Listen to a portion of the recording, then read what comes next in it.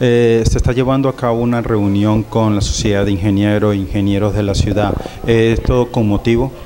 Mira, el señor alcalde convocó a, este, esta sociedad gremial que para nosotros es muy importante que se vincule a la administración municipal, dado todo, digamos, el elemento humano de, conocimiento y capacidades que hay allí, de cesarenses preparados que pueden sin duda alguna contribuir a todos estos planes de inversiones que se están desarrollando en la ciudad. Eh, ¿Qué les pedimos como administración pública? Hombre, más acompañamiento, cercanía con la administración definitivamente.